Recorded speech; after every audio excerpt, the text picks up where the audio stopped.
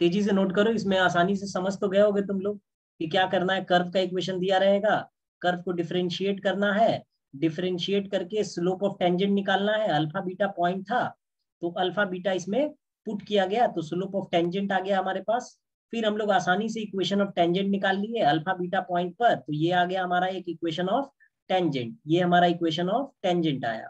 अब इस equation of tangent को हम लोग क्या किए कि ये ज़ीरो ज़ीरो ओरिजिन से पास कर रहा था तो एक्स कोऑर्डिनेट की जगह ज़ीरो वाई कोऑर्डिनेट की जगह ज़ीरो रख दिए। यहाँ से हमारा बीटा का एक रिलेशन निकला। अब एक और रिलेशन निकल जाए, क्योंकि ये दो वेरिएबल का इक्वेशन है तो एक और रिलेशन निकल जाएगा तो बन जाएगा। तो अब अल्फ़ा बीटा का एक और रिलेशन कहाँ से लाए? तो देखो अल्फ़ा बीटा कर्व पर भी तो लाई कर रहा है ना तो कर्व को सेटिस्फाई करेगा। यहाँ जो कर्व है, उसको सेटिस्फाई करेगा। तो कर्व पे रख दिए यहाँ पर since alpha beta lies on the curve तो कर्व पे लाई कर रहा है कर्व को सेटिस्फाई किया, ये हमारा सेकंड इक्वेशन अब ये दोनों इक्वेशन को सॉल्व करेंगे तो अल्फ़ा निकल जाएगा। यहाँ पे अल्फ़ा की वैल्यू आई प्लस माइनस वन अब एक बार प्लस वन लेकर निकाले बीटा तो बीटा हमारा आया टू बीटा हमारा आया टू हाँ प्लस वन लेकर निकाले तो बीटा टू आया, यहाँ पर आया बीटा टू और अल्फ़ा बराबर माइनस वन लेकर निकाले तो बीटा बराबर माइनस टू आया। ठीक है? यहाँ पर बीटा हमारा आया है माइन प्लस टू और फिर उसके बाद अगला केस हम लोग सॉल्व किए, जिसमें अल्फ़ा बराबर माइनस वन लेकर लिखे। तो हमारा कोऑर्डिनेट निकल गया one comma two minus one comma minus two तेज़ी से नोट करो सब लोग।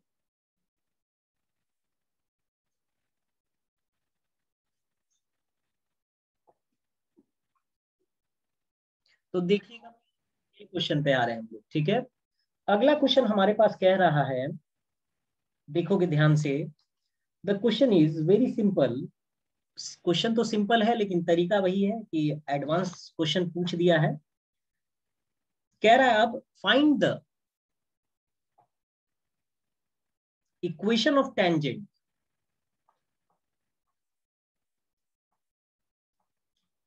to the curve equation of tangent to the curve 3x square minus y square is equal to 8 which passes through which passes through the point which passes through the point 4 by 3 comma 0 ठीक है अब देखो इस question को हम समझना होगा पहले कह रहा है find the equation of tangent to the curve which passes through the point इतना? ये नहीं कहा है कि ये पॉइंट जो है, वो कर्व पे लाई कर रहा है। समझ रहे हो बात? हमसे बस कह दिया कि हमारा टेंजेंट जो है, वो इस पॉइंट से पास कर रहा है। और पॉइंट का वैल्यू आपको क्या दिया है?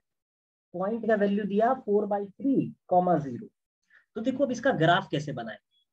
देखो एट द पॉइंट और पासिस थ्रू द पॉइंट दोनों में अंतर है। देखो इससे पहले जो क्वेश्चन बनाते थे उसमें क्वेश्चन क्या होता था? क्वेश्चन होता था देखो ऐसे होता था। Find the equation of tangent and normal to the curve at the point देखो है कि नहीं? इससे पहले वाला क्वेश्चन देखो एट द पॉइंट है कि नहीं?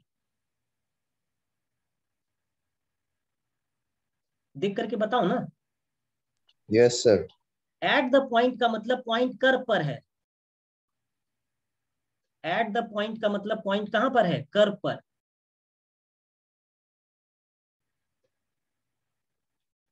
तो इस पॉइंट अभी पॉइंट हमको दिया हुआ नहीं अल्फ़ा बीटा है। और टेंजेंट जो है, एक पॉइंट से पास कर रहा है, जिसका कोऑर्डिनेट है four by three comma zero इस इस सवाल का मतलब ये है। देखो, आया बात समझ में? अगर एट द पॉइंट लिखा होता ना which passes through the point ना लिख करके लिखा रहता है एट द पॉइंट तो ये अल्फ़ा बीटा का वैल्यू होता है। ये अल्फ़ा हो जाता है ये बीटा हो जाता। यानी ये एक्स वन बन जाता है ये वाई वन बन जाता। है ये हमारा एक्स वन काम करता है ये वाई वन काम करता है जो कि अभी ऐसा नहीं होगा। अब देखो कैसे बनाएँगे।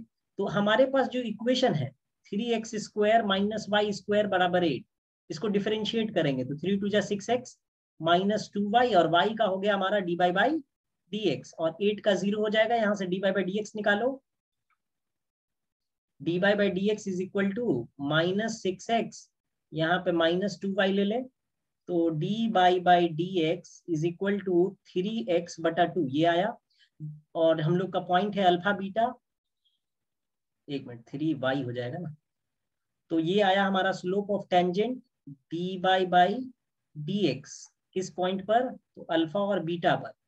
तो थ्री अल्फ़ा अपॉन बीटा यही हो जाएगा। इसको हम लोग स्लोप ऑफ़ टेंजेंट बोल रहे अब आए इक्वेशन ऑफ़ टेंजेंट पर। इसके बाद यहाँ है इधर। Equation of tangent. क्या होता है equation? y minus y one is equal to slope of tangent x minus x one value डालिए, y माइनस वाई वन तो वाई वन हमारा बीटा है, ये हमारा एक्स वन वाई वन की तरह काम करेगा, ये एक्स वन और ये y one y slope of tangent तो three alpha upon beta x minus x one तो अल्फ़ा अब हमारा टेंजेंट जो है, वो पास कर रहा है फोर कॉमा थ्री से। Since tangent passes through 4 by 3 comma zero तो इस पॉइंट से अगर टेंजेंट पास कर रहा है तो y के जगह पर ज़ीरो रखेंगे। Zero minus beta is equal to three alpha upon beta is equal to four by three minus alpha इसको मल्टीप्लाई कीजिए और सिंप्लीफाई कीजिए। बीटा को इस तरफ़ ले आइए तो बीटा स्क्वायर हो जाएगा। Minus beta square is equal to four alpha minus में थ्री अल्फ़ा स्क्वायर, ऐसा होगा ना? तो बीटा स्क्वायर हमारे पास आ गया, three alpha square minus four alpha. बात समझ में आया? देखो, ऐसा आएगा।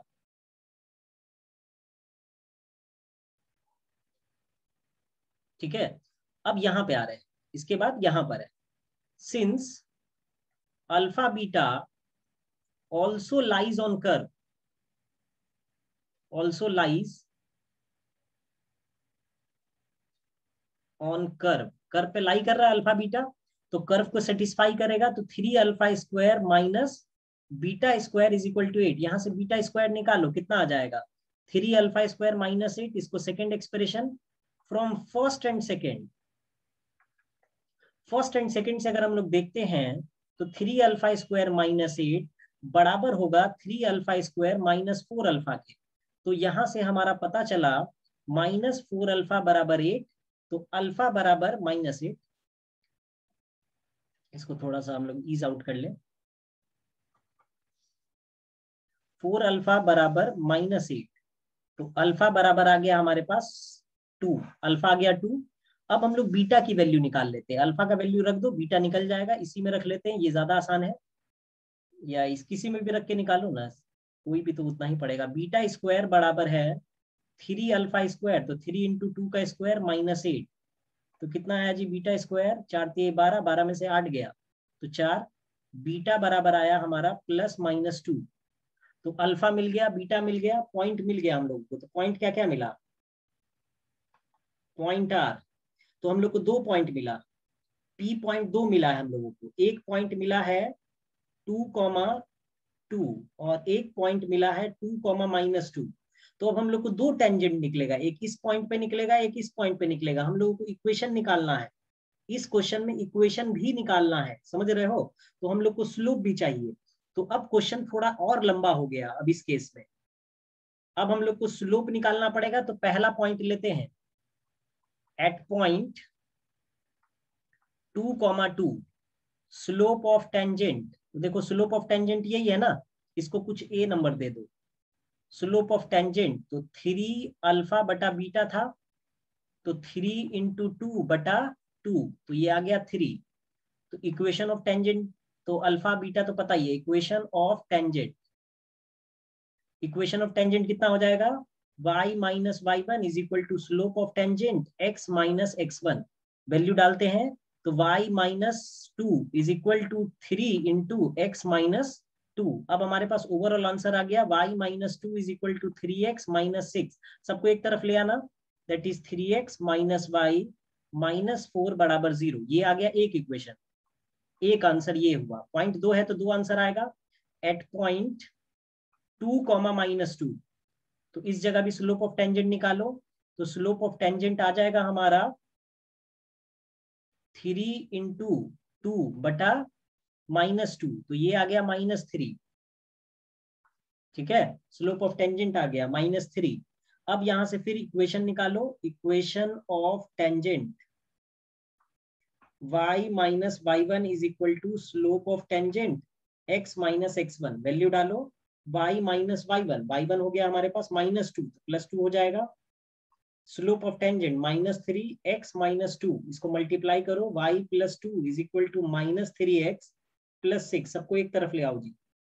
तो कितना आ गया? तो ये ओवरऑल आ गया three x plus y minus four बराबर ज़ीरो। देखो, इतना आ रहा है ना? देखो, इस क्वेश्चन को भी अच्छे से नोट कर लो। ये क्वेश्चन भी बहुत इंपॉर्टेंट क्वेश्चन की कैटेगरी में है। और ये जेई मेंस के एग्ज़ाम में भी आ रखा है एक बार। और सीबीएसई e में ये आया था आपको ये सीबीएसई e के 2013 के कंपार्ट पेपर में था कंपार्टमेंटल का पेपर में था ये। ये हमारे पास एक कर्व दिया हुआ है three x square minus y square बराबर है। इसमें एक टेंजेंट है देख रहे हो ये टेंजेंट ये जो टेंजेंट है ये टेंजेंट जो है एक पॉइंट से पास कर रहा है four by three comma zero से पास कर रहा है। और हमको ये नहीं पता है कि वो कर्व पर किस पॉइंट पर है। तो कर्व का पॉइंट ले लिया अल्फ़ा बीटा ये पॉइंट हमको नहीं पता। ये पॉइंट जब तक नहीं पता रहेगा, तब तक हम इक्वेशन नहीं निकाल सकते। तो हमको अल्फ़ा बीटा निकालना पड़ जाएगा। तो क्या करेंगे? तो सबसे पहले हम लोग किए कि कर्व को डिफरेंशिएट किए। यहाँ से देखो कर्व को हम लोग क्या किए? डिफरेंशिएट डिफरेंशिएट किए तो हमारे पास d by by d x आया three x upon y three x upon y तो स्लोप ऑफ़ टेंजेंट हमारे पास निकल गया d by by d x alpha beta three alpha upon beta ठीक है? तो ये हमारा स्लोप ऑफ़ टेंजेंट आ गया। अब हम लोग इक्वेशन ऑफ़ टेंजेंट चलते हैं। तो y माइनस वाई वन यहाँ पे देखो इक्वेशन ऑफ़ टेंजेंट पर। y minus y one is equal to slope of tangent x minus x one तो हमारा x1 y1 वही पॉइंट होता है जो कर्व पर भी होता है ना? तो ये x1 ये y1 की जगह काम करेगा। y1 की जगह बीटा x1 की जगह अल्फ़ा तो ओवरऑल आंसर जो हम, और slope of tangent three alpha बटा बीटा ये आ गया इक्वेशन ऑफ़ टेंजेंट ये हमारा इक्वेशन ऑफ़ टेंजेंट आ गया। अब ये टेंजेंट जो है, देखो, चार बाई तीन कॉमा ज़ीरो से तो पास कर रहा है ना? Four by three comma zero से पास कर रहा है तो एक्स कोऑर्डिनेट ये हुआ, वाई कोऑर्डिनेट ये हुआ सेटिस्फाई तो करेगा ना। जो जिससे, जो तुम जिस घर में रहते हो तो उस घर में सब तो तुमको जानता होगा ना तो बिल्कुल वैसा ही ये ऐसे है। तो four by three comma zero x और वाई कोऑर्डिनेट सेटिस्फाई होगा। पुट कर दिए, एक्स और वाई कोऑर्डिनेट की जगह। यहाँ से बीटा और अल्फ़ा का एक रिलेशन आया हमारे पास, इसको रिलेशन वन नाम दे दिए। अब ये दो वेरिएबल का रिलेशन है तो हमको क्या दिमाग में आएगा कि अगर ये दो वेरिएबल का रिलेशन है तो एक और रिलेशन अगर हम स्टैब्लिश कर लेते हैं तो हम लोग अल्फ़ा बीटा निकाल लेंगे। कहाँ से स्टैब्लिश करें? तो देखो, ये अल्फ़ा बीटा जो है कर्व पर भी तो लाई कर रहा है ना तो कर्व को भी सेटिस्फाई करेगा तो अब यहाँ चले आए। Since alpha beta, since alpha beta also lies on the curve, so it will also satisfy the curve. It means 3 alpha square minus beta square बराबर 8 यहाँ से हम लोग बीटा स्क्वायर की वैल्यू निकालेंगे, जो हमारे पास आ गई three alpha square minus eight ये आ गया सेकेंड एक्सप्रेशन देखो, ये भी बीटा स्क्वायर का वैल्यू है और ये भी बीटा स्क्वायर का वैल्यू है। देख रहे हो? ये भी बीटा स्क्वायर का वैल्यू ये भी बीटा स्क्वायर का वैल्यू वन और टू से ये दोनों आपस में बराबर होगा। यहाँ से हम लोग अल्फ़ा निकाल लिए तो अल्फ़ा हमारे पास आ गया टू अल्फ़ा की वैल्यू प्लेस करके, चाहे तुम सेकेंड इक्वेशन का यूज़ करो, चाहे फ़र्स्ट इक्वेशन का यूज़ करो, आएगा इतना ही। तो बीटा स्क्वायर फोर आया बीटा बराबर प्लस माइनस टू आया। तो हमारे पास दो पॉइंट ऑप्टेंड हो गया, यानी एक पॉइंट पर टेंजेंट नहीं है टेंजेंट दो पॉइंट पर है। टू कॉमा टू पर भी है और टू कॉमा माइनस टू पर भी है। तो हम लोग इसको पॉइंट वन ले ले और इसको पॉइंट टू ले ले। दोनों पॉइंट को सोचना पड़ेगा। तो पहले पॉइंट वन लिए eight point two comma two पर। टेंजेंट का स्लोप निकाले। तीन आया इक्वेशन निकाले अल्फ़ा बीटा अब यही है ना, ये हमारा अल्फ़ा ये हमारा बीटा पुट कर दिए, निकल गया टेंजेंट का स्लोप अब दूसरा पॉइंट लिए two comma minus two tangent का स्लोप निकाले माइनस थ्री आया इक्वेशन निकाले। We have two tangent in such case इस केस में हमारे पास दो टेंजेंट होंगे, इसको नोट कीजिए सारे बच्चे तेज़ी से।